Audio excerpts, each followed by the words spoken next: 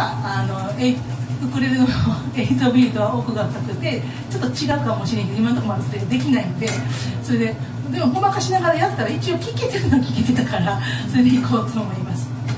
また後々奥が深いからそれもねできるようになったらかっこいいなと思うんやけどまだ8ビートとかアルペジオはできないので普通でいこうと思います。まあねそれは無理してね。はい。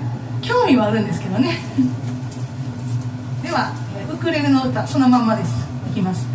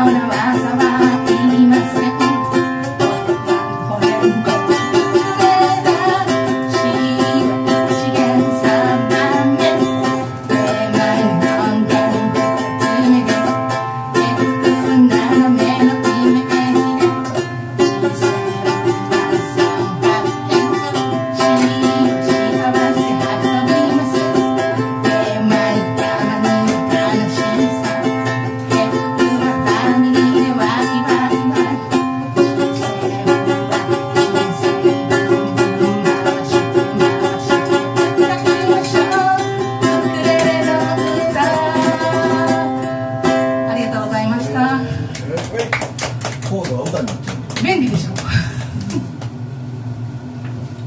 これあのガズレレのガズ先生のオリジナルなんですへえでもそれよりさっきのあの見上げてごらんの方がはい。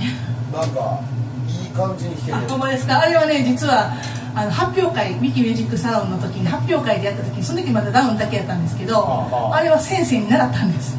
それ今今のそのウクレレの歌あのアップダウンするでしょこれ。アップダウンでやったけど本当はもともとはダウンだけのやつ。あダウンだけ